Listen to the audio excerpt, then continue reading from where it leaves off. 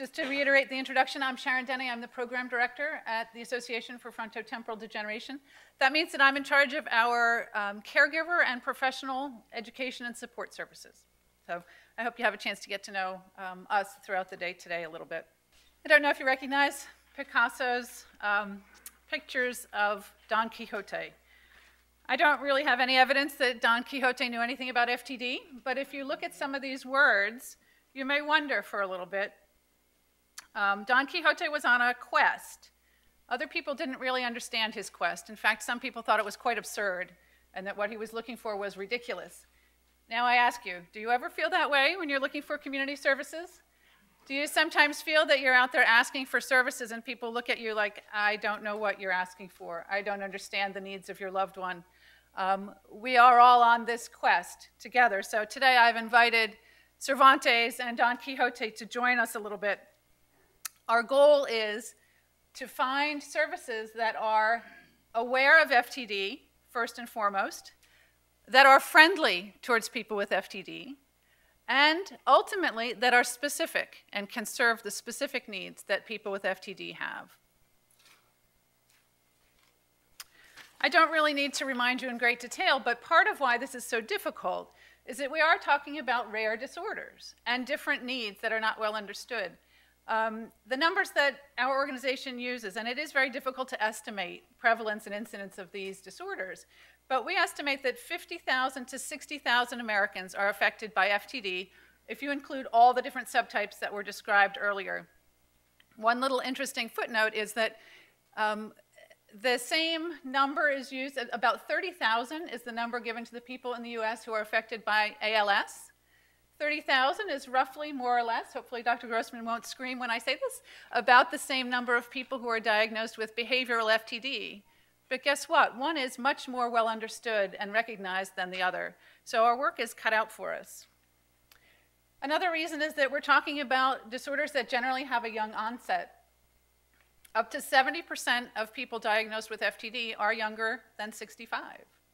Um, so most of the services in the community that are dementia related, that are aware of and understand dementia, are for an older population, which means they may not understand what it's like to serve somebody who's physically active, mobile, looks pretty healthy, and has some different challenges that they're coming in with.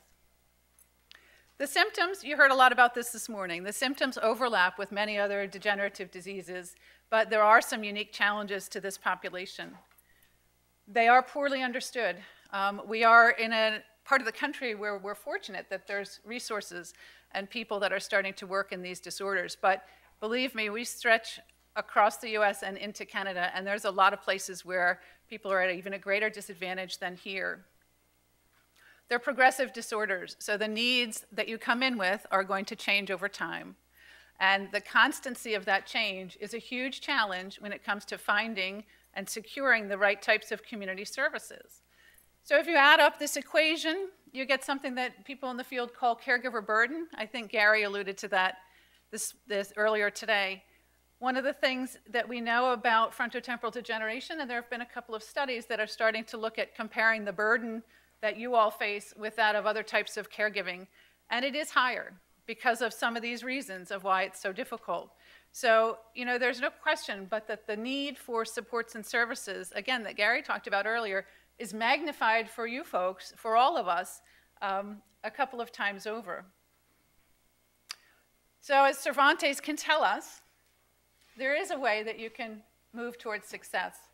Um, in every case, the best remedy to fear is, is to take action.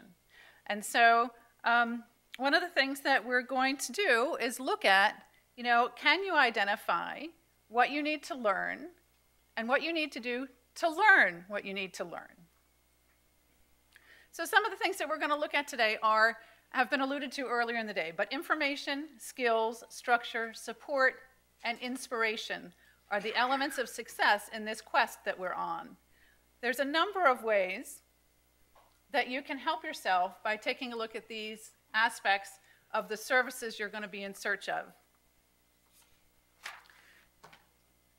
First of all, the, to understand the disease, and again, this we had talked about, but You know, if your quest is not just for services, but also for that satisfaction in the new job that you're taking on, to have the confidence and the satisfaction that you're doing the best job possible, you do kind of need to understand the landscape. And of course, that's why you're all here.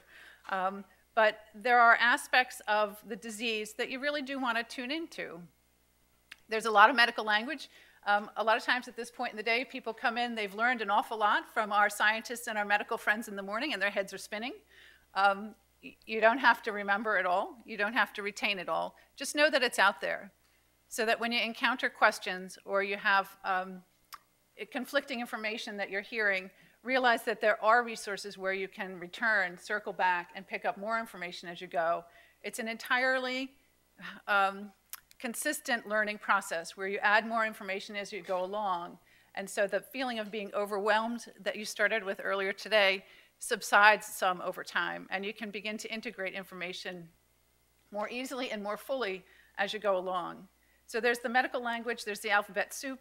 The subtypes are important. You do need to know um, what symptoms your loved one has, what the clinical terminology is, and then ultimately, as we heard too about the research, and I'll mention that again, but to be able to understand what the differences in pathologies are, most importantly, to know how does it relate to you in the surfaces you need, the opportunities that are available to you. So you don't have to master it. You just have to know some of the questions to ask and how to put the information together.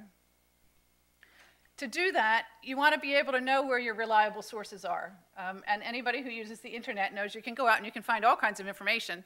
Um, some of it's very good, and some of it's going to take you down paths that you'll really, really be sorry for. Um, and so, how can you discern what's a reliable source of information and what isn't? Well, you have the people at Penn, and you know your medical centers and the academic centers that are working in these diseases. The NIH is always going to be a reliable source of information. So start with your foundational sources and build from there. We're a reliable source of information. We're very blessed to have um, many, many very fine and uh, dedicated medical advisors who help us out when we have medical questions. And so one of the things that we hold ourselves to at AFTD is to make sure that we give you reliable information so that you know you can trust that. So you do have to ask questions and look for those sources of information. One of the things that we hear all the time that is the hardest thing for you all is that many, many of these questions that are the heaviest that weigh on you can't be answered.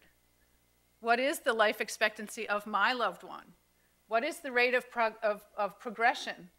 What will the symptoms be? How do I know if I'm going to have to deal with that or with this? And those are questions that do not have answers. These are very complicated disorders.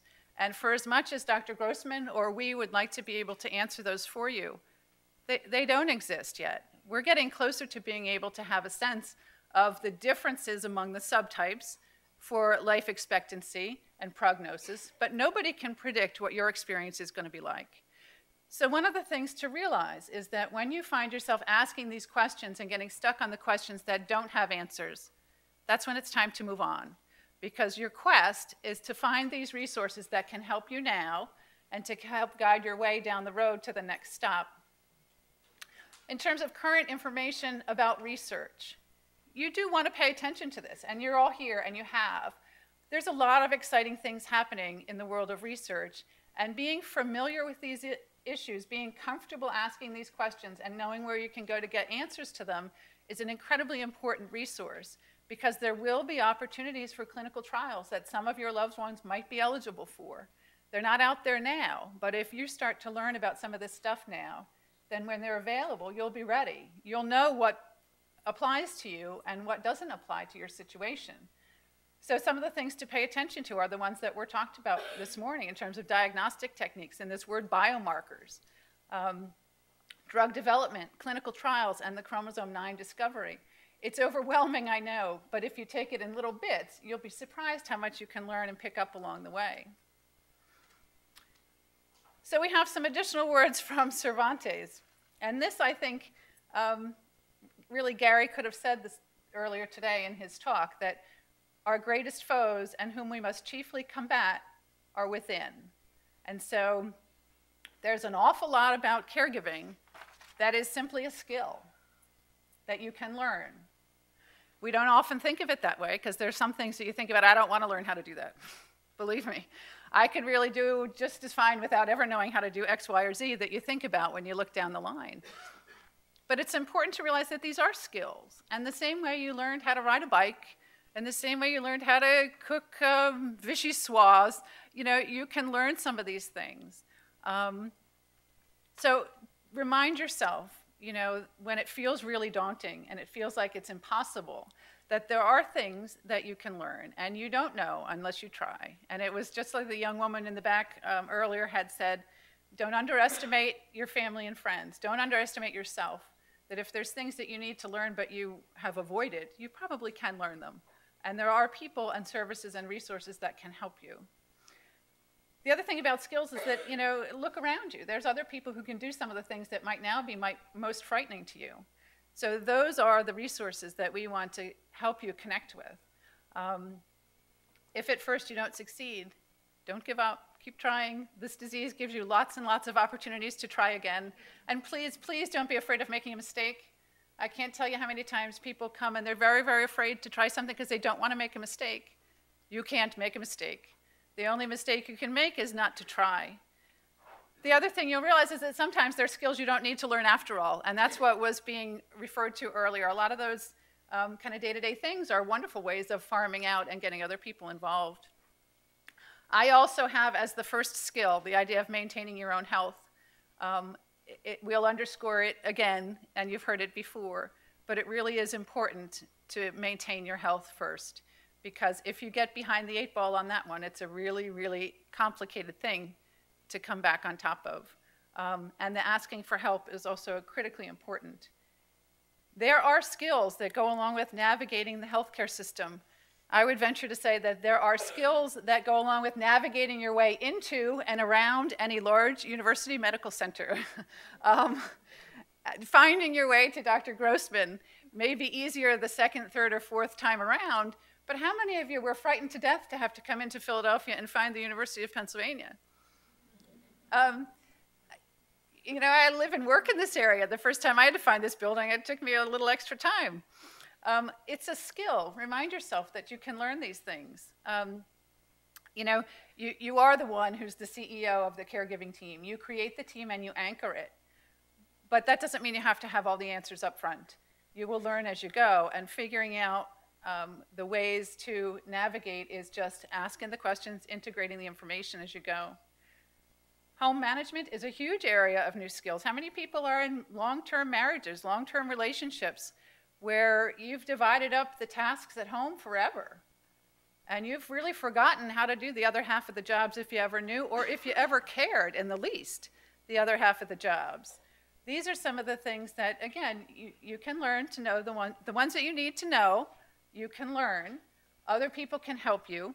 And there are also in this category lots of things that maybe you don't need to know. Maybe you don't need to know how to do the lawn, but somebody else can help you with it. Managing symptoms. This is also a pretty daunting area of work for you. Um, managing symptoms is a whole set of skills. You know, there's, it's important to realize that the, um, you can't change the symptoms. You know, your loved one is experiencing all these difficulties because of a disease process that they have no control over. Most of the symptoms they don't have any control over.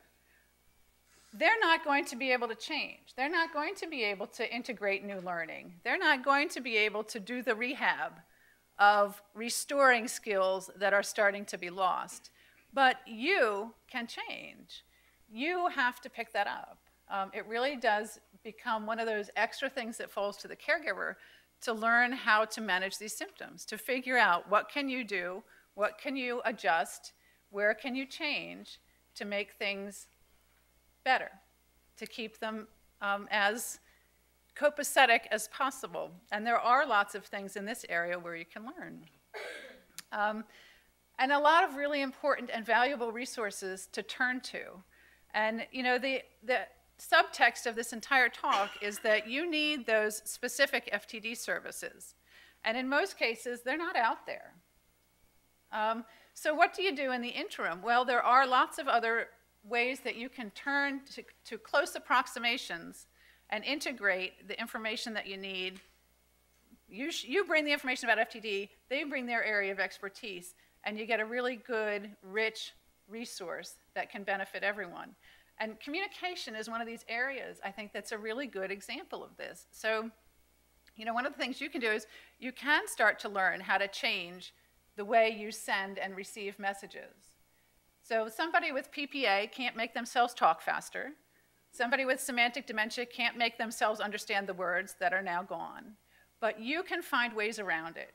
Um, and there are people who can help you. So, you know, there are a lot of resources through caregiving.com and other dementia related resources, the Alzheimer's Association, the National Aphasia Foundation, um, where they can tell you and talk to you and help you to look at what are these communication techniques in general where you know it is slowing down the rate that you speak tuning into nonverbals using a lot of eye contact using general um, gentle touch to redirect people those resources are out there there's the opportunity to um, use technology a little bit now but one of the real critical things that folks with ftd often aren't told is that speech and language pathologists are really an important piece of this puzzle.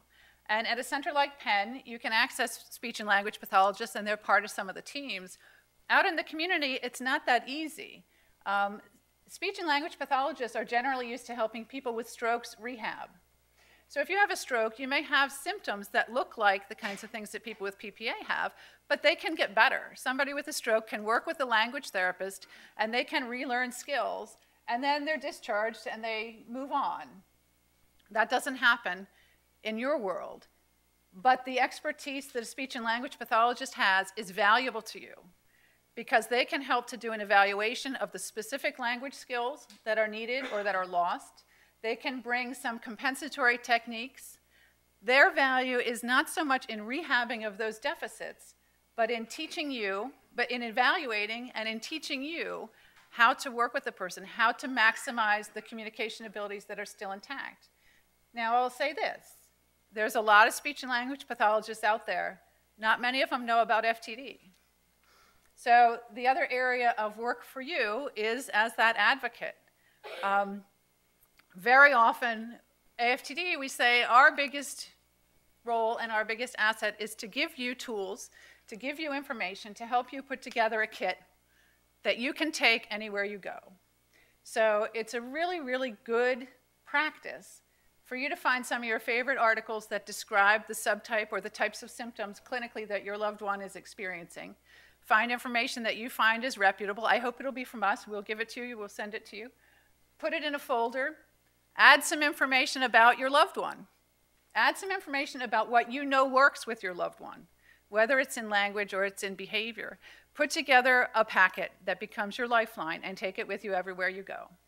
So you could walk into a speech pathologist's office and say, you know what, I'm here, I need services, I need your help. I don't expect you to really know too much about this disease yet, but how about if we work together and the partnership that we create will help my family member and help the next one coming in the door after me who has PPA. Now, should you have to do this? No. I would like it to be a lot easier for you to find the resources that you need. But it does work this way, and it works very well. So I would really encourage you to put together the materials that you think make the most sense for your situation and have that be part of your toolkit, a physical packet of material um, to help raise awareness, to help create that partnership so that the providers know what you need and they know then how they can bring their expertise to help your particular situation. In terms of behavior situation, behavior symptoms, you know, the old reminder that the symptoms are symptoms, but the behaviors are purposeful. That doesn't mean you're always going to understand them. You might not always ever, you might not ever be able to figure some of them out. But one of the things to remember in terms of the skills that will help you to manage this um, journey is that a lot of the behaviors that you'll see day to day may be related to things in the environment. They're going to be related to triggers that you can identify if you kind of put on your detective hat and start to look at them in a different way. Um, the most effective treatments for many of your family members are going to be when there are changes in the expectations that they are living with and that they're under, changes in the environment that they are surrounded by, and changes in the approach of the people that they're encountering. And these are all areas where there are resources that can help you. They're not going to be dead on. They're going to be a close approximation, and then you take it from there.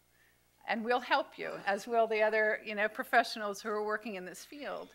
Um, there are resources on managing behaviors in dementia in general, and they're very good that are out there. You can find them through the Alzheimer's Association, you can find them through caring.com. A lot of these things are now pretty readily available. The place where our folks get stuck is when you say, yes, but that's not really my situation. And that's true.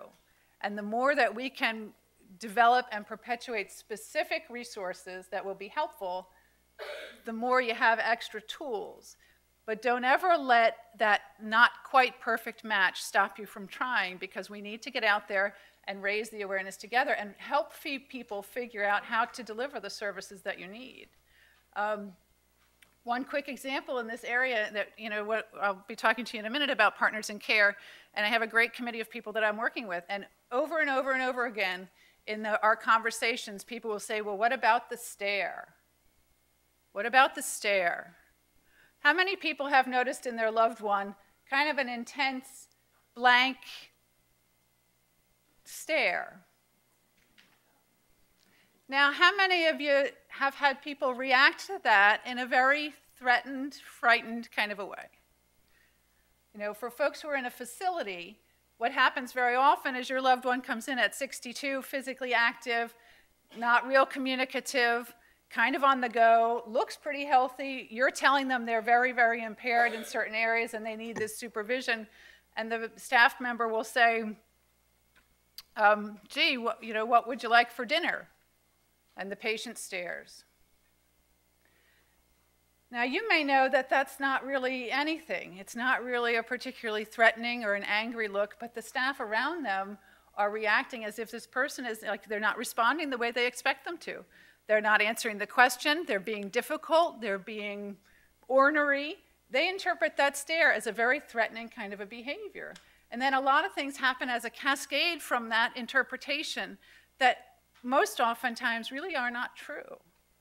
So, by being able to marry the information that's out there on behaviors in general and some specific information about these symptoms that people may encounter in someone with FTD, we can make the services get better for what you need.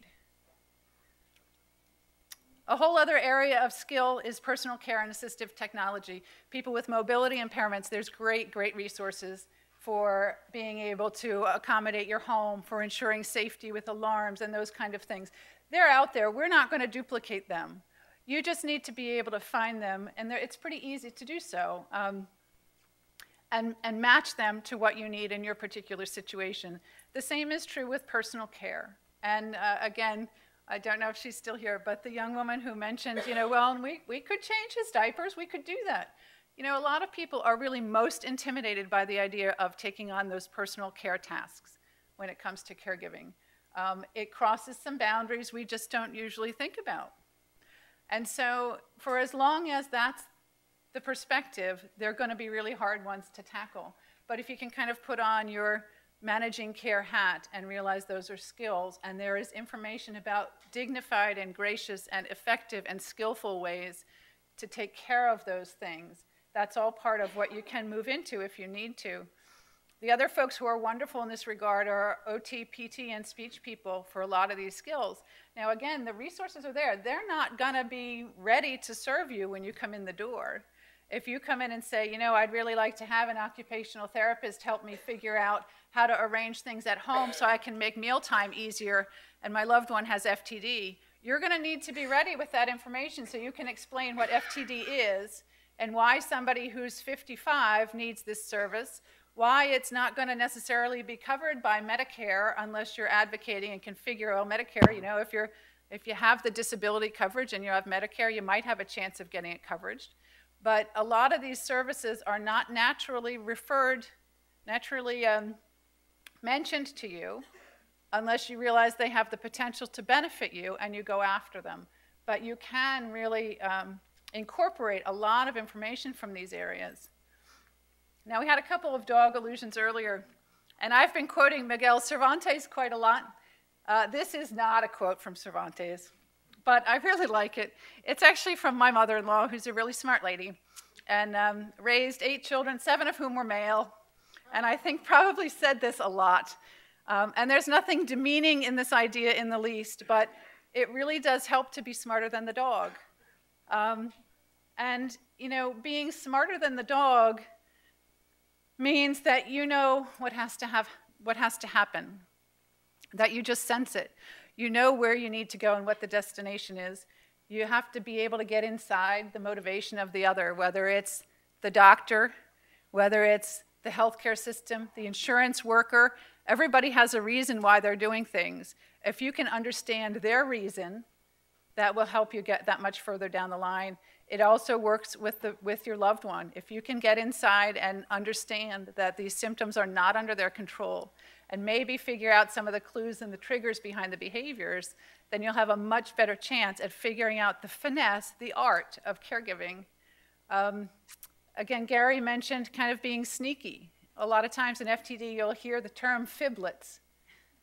There's a very dignified, creative, important role for lying in this area, and I include it as a skill that you're going to want to learn.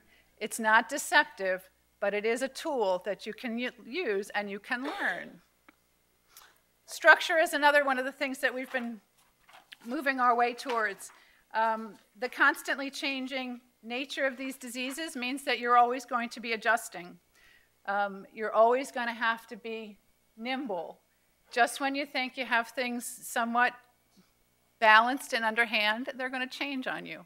And so if you can set up an overall game plan in your head for what you're doing now, what you need to do now, and where you're going to go down the road, it's going to be really helpful. You won't feel like you're in control. And I wouldn't pretend to tell you you're going to feel like you're in control. But you have a roadmap and you have a sense of where you want to go. The anchor to that is routines. Having some routine in your life even knowing that it's not going to work day in and day out, that you have to be flexible and adjust, but having some structure that you're looking to plug activities into each day is really, really important. The structure might be something you're doing at home. It might be something down the line that a facility or a day program is providing. But any structure should include and consider some of these things. Um, there is a caregiver here who has um, done a great job coming up with a full day structure of activities for her husband from within a whole framework. Um, and some of her articles are on our website, which I'm happy to point you to. But you really want to take into consideration not just the needs of your loved one, but their interests and the resources and everything that's around you um, to try to figure out how you can maximize their engagement in the community, what can be flexible over time, how can it adjust, you always have to evaluate for safety.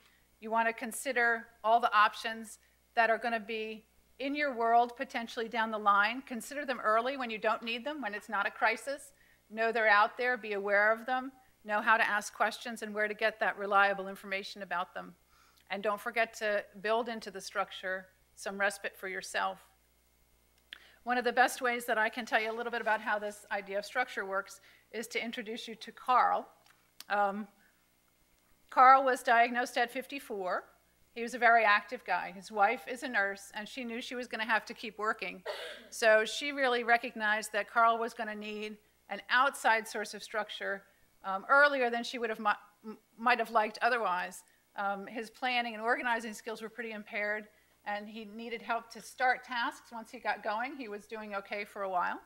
Um, so she went out and she found a day program in the community, which was just a regular um, adult day program. And for 20 months, Carl was a volunteer there. And the program didn't really understand FTD when he walked in the door. They actually underestimated his need for supervision on several occasions, um, but recognized that it was pretty easy to work with him in his particular situation as long as he had somebody help him get initiating and started tasks. He would do a lot of volunteering things um, and help out with different clerical tasks and whatnot within his abilities in that day program. And so for a fairly long period of time, that was a good solution for them. And Sandy, his wife, is a pretty savvy caregiver, and she had already started to collect information to share with the program. She added to that because of her experiences with the first day program, and then as Carl's needs began to increase, and he was able to slip out of the facility that wasn't a secured facility, she did find and move him to a secured day facility.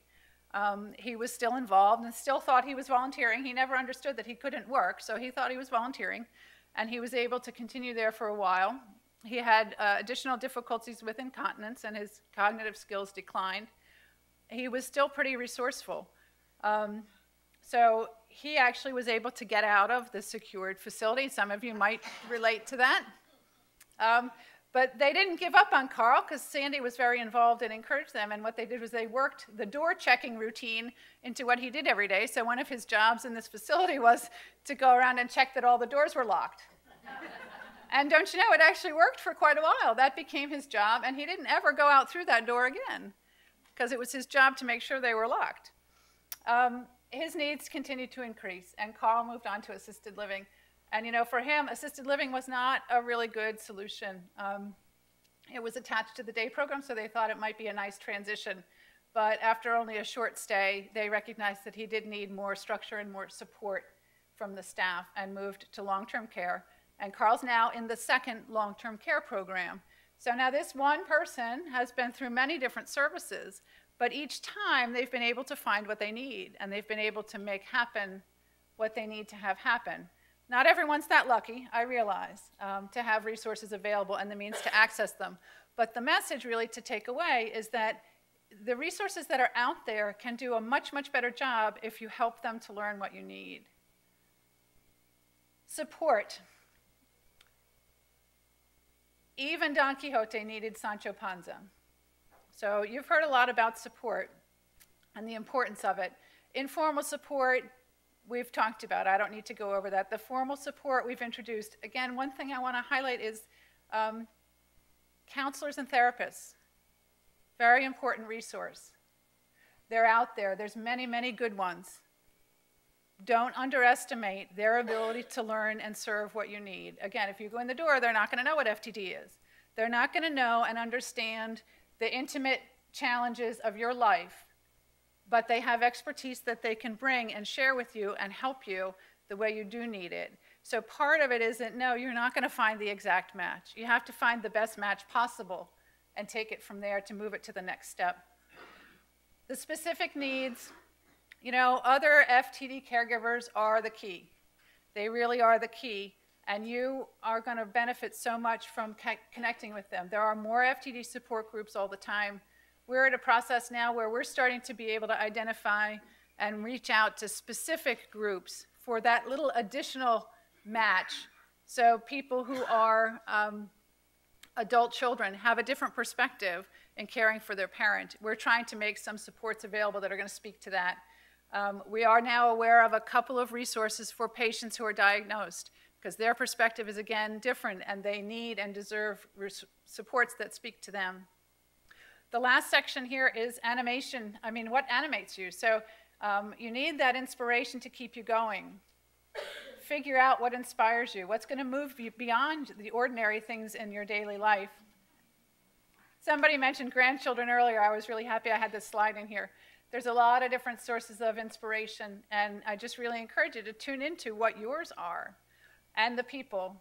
You found out today, I'm sure, that there's a lot of inspiring stories here um, among the other folks attending this conference, make sure that you stay connected with those people because there's so much to learn from them.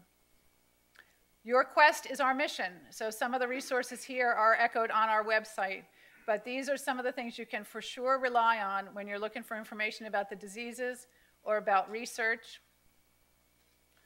Local resources, we don't have a lot of real specific local resources, so sometimes we're pretty limited in what we can tell you, your Alzheimer's Association is going to have a good command of those dementia related resources, and the FTD support groups in your area or even close are going to be a fabulous place to connect with people who have tested and tried some of these other community resources that you need. The FTD specific groups are growing. There's a bunch of them now. There's 64 in the US and Canada. It seems like a small number. It's way higher than it was two or three years ago, so it's getting better. Um, we'll help to match you. If you don't have a group in your area, call us. We'll figure out a way to get you connected with some folks. Uh, it's a little commercial for some of our things. I just want to mention we have respite grants. Uh, respite's important.